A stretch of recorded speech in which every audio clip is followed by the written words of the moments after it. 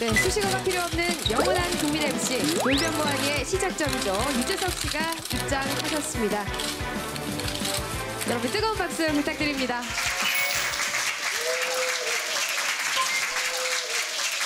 네, 유재석 씨는 무대 중앙으로 올라오셔서 먼저 포토 타임을 좀 갖도록 하겠습니다. 기자 간다는데?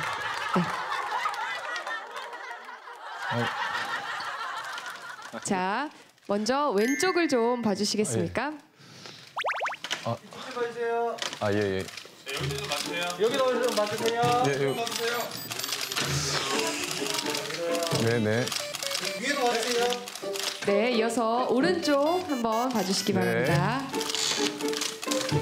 한번 웃어주세요. 네. 하트 한번 해주세요. 네, 하트. 네.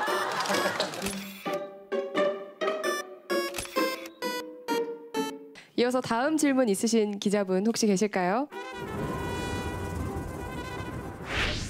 네, 네, 다른 분들 네, 없으신 것 같아요.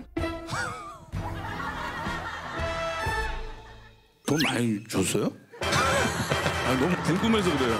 아, 저 안테나에 뭐 뭐 있어요? 뭐 뭐가 있어요? 연결 연결된 게?